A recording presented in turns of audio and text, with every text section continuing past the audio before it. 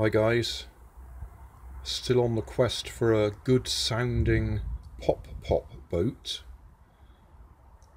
I completely failed to find any scrap tin cans walking along our local lanes where people throw them in the hedges and that. They were all aluminium, the ones that I found. Then I remembered I'd thrown this out recently into my recycling bin. It's a tin of spray paint.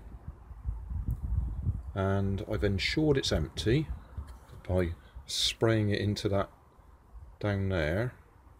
That was just a little bit left in it.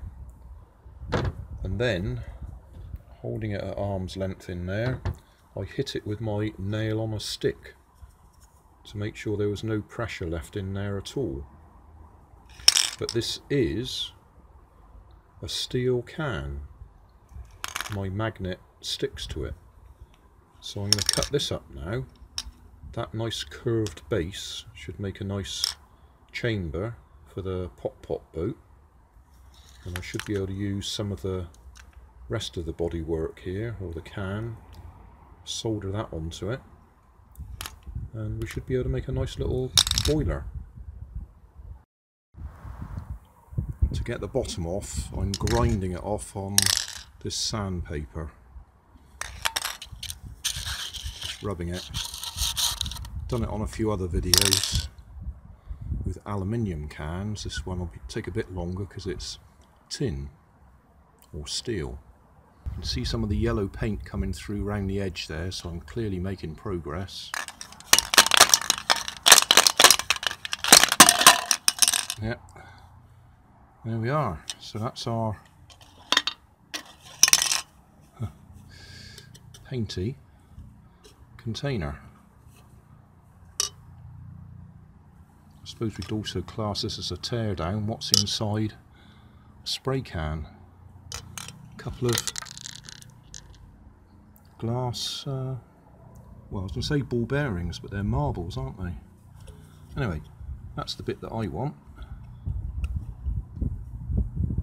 I shall now cut down the sides of the can so we've got a flat piece to go over the base. A sharp knife or a pair of scissors would do this. I happen to have some proper tin snips. I've drawn a circle round it. We want it a little bit bigger than the bottom of here so that we can get a good solder seal all the way around the edge. So there we are, that's my metal lid. That I'll solder onto there.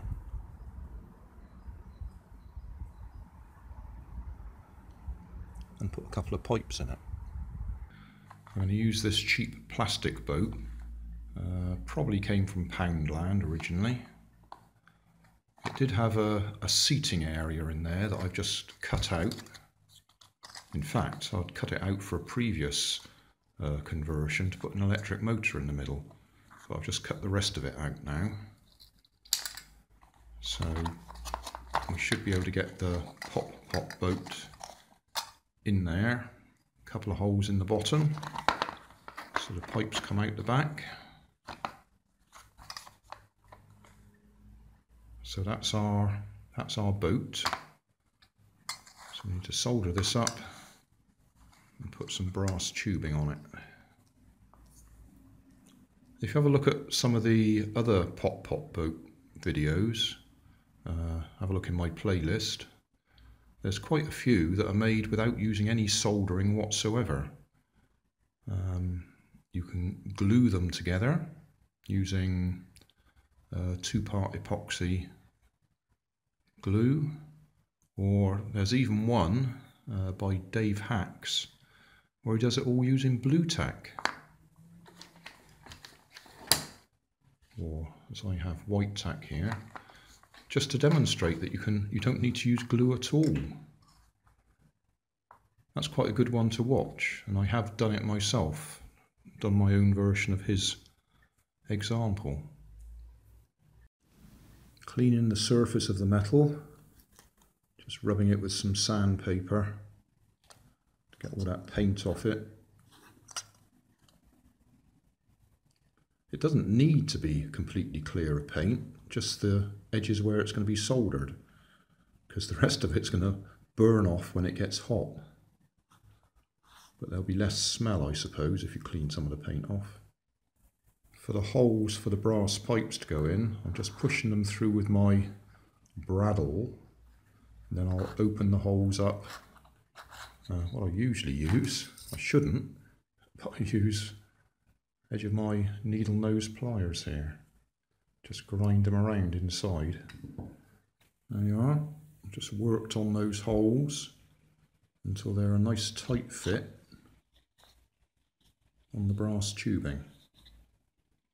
Note I've also cleaned the paint off from around where the holes go through so we should get a good solder joint. Broke my heart today. Actually had to go out and buy some solder.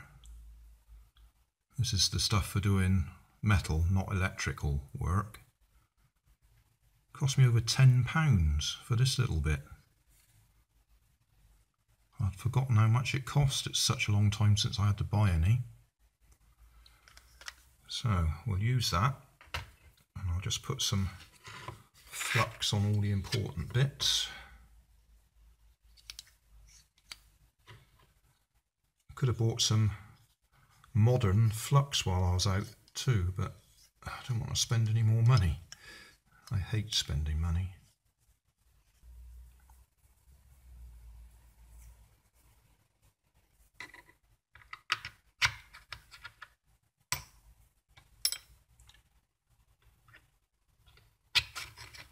Right, that could be a problem. How do we hold that still? Solder should flow all the way around in one go if we got it hot enough. I should have clamped it in place really. Let's see if we can get some just some little starter bits on there. And then work our way around.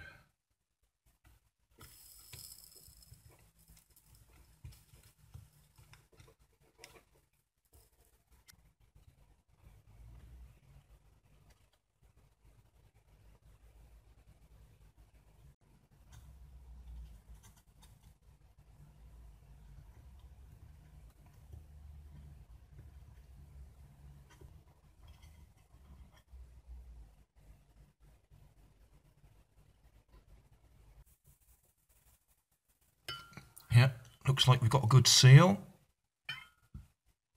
Hot glued in place. I've positioned it so we should be able to get the cover on. While I'm waiting for it to warm up, I've put the top back on the boat. I converted my tea light to three wicks and we got instant performance improvement.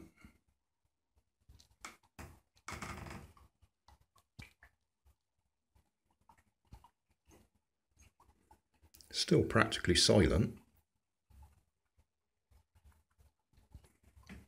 On the previous one I made, I mentioned it would be a good idea to make a proper little alcohol stove for it.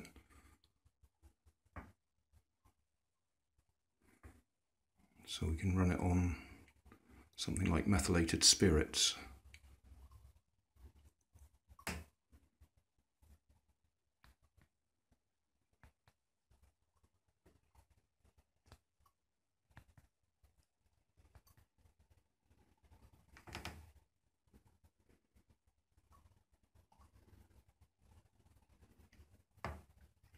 because clearly they're struggling on just using a single tea light.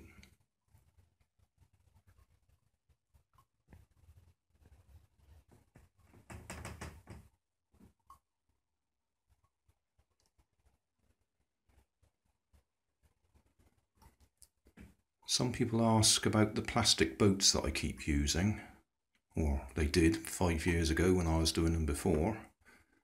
Five years ago, four years ago. And we're in water, they're going to stay fairly cool. Worst case scenario is yes, you could melt the hull, but um, generally speaking, they're not going to get hot enough. Having said that, that one just squirted out its last bit of steam, I think, and it stopped working, which means it will overheat unless I put some more water in there. Yeah, I've squirted a bit more water in there. It's taking a few seconds to heat up again.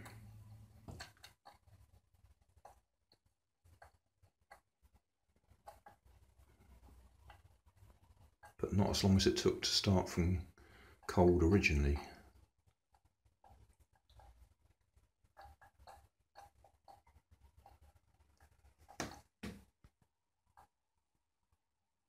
Hey, thanks for watching. There's plenty of videos on my main channel with more added daily, so don't forget to subscribe and enable the notifications to keep you up to date with my new releases.